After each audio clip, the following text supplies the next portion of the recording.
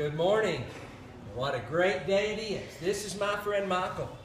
Michael stands before you today, a child of the King.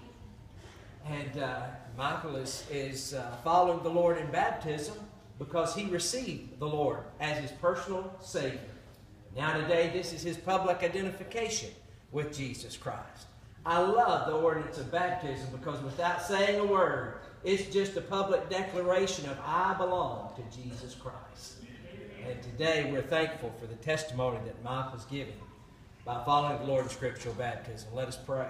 Our Father in heaven, we praise you for the day. We thank you, Lord, for Michael and, and uh, his willingness, his desire to follow you in baptism. I pray, Lord, that you'll bless him, that you'll provide everything that, Lord, he needs to grow into be into a mighty servant in your kingdom.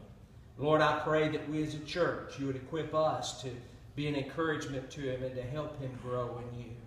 And I pray, Lord, that this public uh, testimony of baptism, this ordinance of baptism today, will be an example for others to follow in making public their faith in you as their Lord and Savior.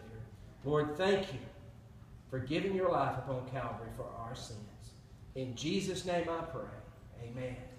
Michael, on the profession of your faith, by the authority of Victory Baptist Church, I baptize you in the name of the Father, of the Son, and of the Holy Spirit.